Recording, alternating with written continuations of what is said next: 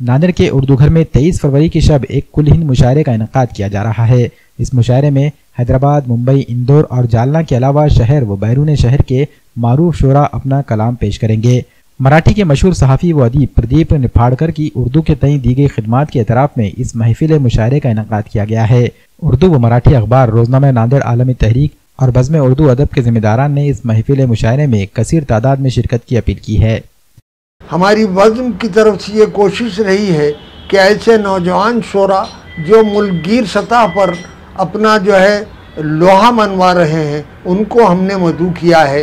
तो वो एक मुशायरा जो है कुल हिंद मुशायरा है जो में पूना में रहने वाले हमारे एक दोस्त हैं, नेपालकर साहब, जो पुण्य नगरी में बहुत अच्छे आर्टिकल्स और अपना जो है उर्दू से मुतल शरा का जो है कलाम शाये करते हैं और जिससे हमारी आ, उनसे जो है मोहब्बत हो गई है और उस सिलसिले में बदम नांदेड़ की जानब से नेपाड़कर साहब का भी इस्तकबाल किया जा रहा है। और मेरी अपील है शहरियान नांदेड़ के उर्दू दोस्त उर्दू हमनवा उर्दू के चाहने वाले तमाम जो है अहबाब इस मुशायरे को कामयाब बनाने के लिए आप मुशायरा में उर्दू घर में तशरीफ़ लाएँ। और इस मुशायरे को मुमकिन हद तक कामयाब करें और जदीद लबो लहजे के शरा को सुनकर उनको भी जो उनकी भी हिम्मत अफजाई करें। अजीम शान पुलिन मुशायरा मुनद किया गया है। इस मुशायरे की ख़ास बात यह है कि इसमें महाराष्ट्र के उन नौजवान शोरा का इंतखब किया गया है, जिन्होंने अपनी अहलियत ऑल इंडिया मुशायरों में साबित की है।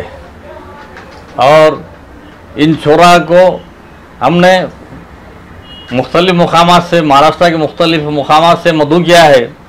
इन ये मुशायरा बहुत कामयाब मुशायरा होगा।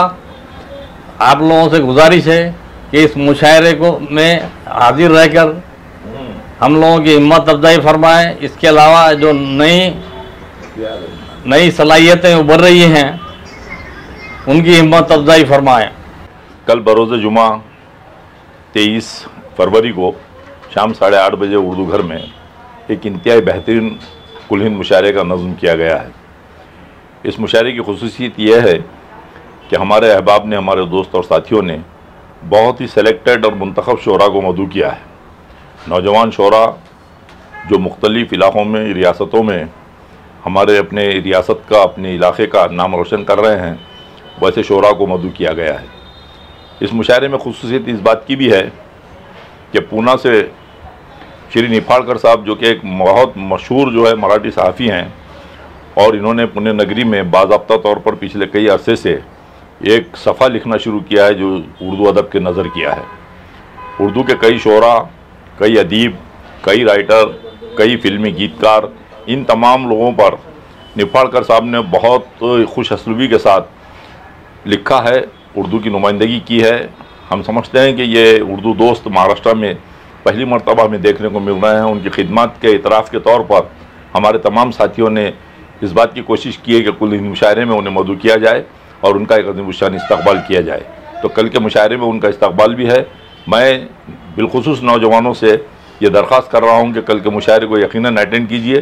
कल के मुशायरे में शहर नांदेड़ के भी बड़े उमदा और मीरी मजाया शरा आपको सुनने को मिलेंगे इन के लिए ये बायस मसरत है कि कल शब साढ़े आठ बजे उर्दू घर में एक अजीम शान मुशायरे का इनका अमल में आ रहा है।